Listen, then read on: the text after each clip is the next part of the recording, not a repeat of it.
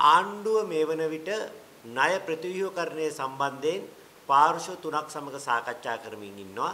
එක පැත්තකින් චීනයෙන් හැර අනිකුත් සීලුම රාජ්‍යයන්ගේ සමන්විත නිල ණය හිමි කමිටුව official creditors committee දෙවෙනි එක චීනය තුන්වෙනුව ජාත්‍යන්තර බැඳුම්කර හිමියන් චීනය සහ නිල ණය හිමි කමිටුව සමග ණය ප්‍රතිව්‍යුහකරණය සම්බන්ධයෙන් එකඟතාවයකට එළඹෙන්න ශ්‍රී ලංකා ආණ්ඩුව සමත් වුණත් බැඳුම්කර හිමියන් සමග සියලුම සාකච්ඡා සාර්ථක වෙලා තිබෙනවා.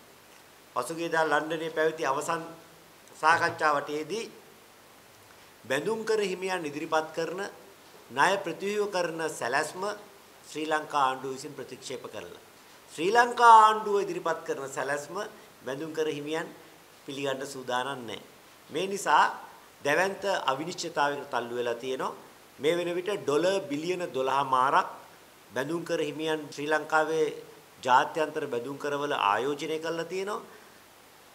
වරින් වර වසරින් වසර එකින් එක මේ බැඳුම්කර නොගෙන තත්ත්වයක් ඇති වෙද්දී සල්ලි දාපු අයගේ පපුව ගිනි අරගන්න එක සාධාරණ තත්ත්වයක්. දැන් 2022 ගෙවීමට තිබුණු ඩොලර් බිලියන 10ක බැඳුම් කරවල එක සතයක්වත් ගෙවන්න ආණ්ඩුව සමත් වෙලා නැහැ. මේ මුදල් වල තමන්ගේ අතර මේ මුදල් ලැබුණා නම් ඒවා කොහේ හරි ආයෝජනය කරලා ඒ යම් ආදායමක් උපය ගන්න මේ අයට අවස්ථාවක් අහිමි වීම නිසා මෙතන ආවස්තික පිරිවැයක් තියෙනවා. ඒ නිසාම මේ බැඳුම් කර හිමියන් මේක ප්‍රමාද වෙන්න ප්‍රමාද වෙන්න ප්‍රමාද පොලියක් බලාපොරොත්තු වෙනවා. 2023 දෙසැම්බර් 31 වෙනිදා වෙන විට මේ මේ අයගේ ගණනයන් අනුව ප්‍රමාද පොලිය පමණක් ඩොලර් මිලියන 1678ක් තිබෙනවා. මේ සාකච්ඡා ඇදෙන්න ඇදෙන්න අපි ගෙවන්න තියෙන පොලිය වැඩිවීම පමණයි සිද්ධ වෙන්නේ. දැන් බංකොලොත් භාවය අපි ප්‍රකාශයට පත් කළ අවුරුදු දෙකකට වැඩි. මේ අප්‍රේල් 12 වෙනිදාට අවුරුදු දෙක පිරුණා.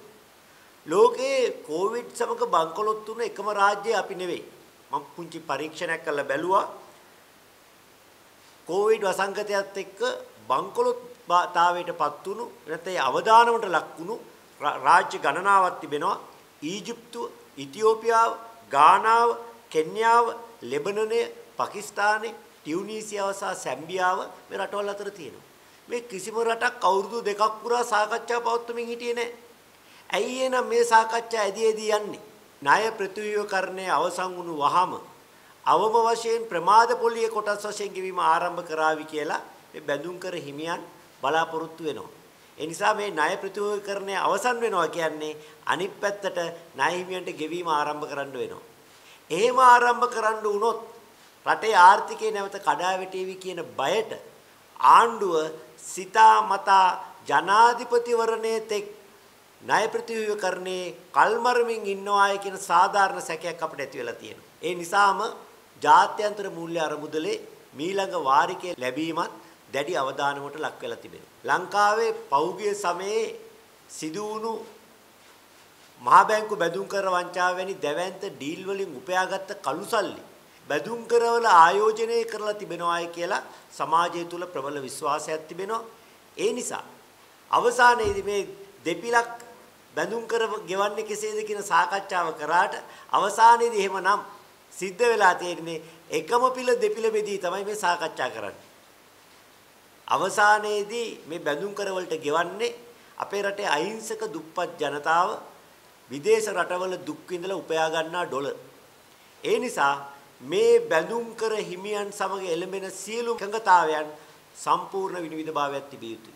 විශේෂයෙන්ම බැඳුම් කර හිමියන් සමග එකඟතාවයක් හදාගත්තට පස්සේ ගිවිසුම අත්සන්න කිරීමට පෙර ඒ ගිවිසුමේ අන්තර්ගතය අනිවාර්යයෙන්ම ප්‍රසිද්ධ කළ යුතුයි කියලා අපි ආණ්ඩුවට බල කරලා කියා සිටිනවා.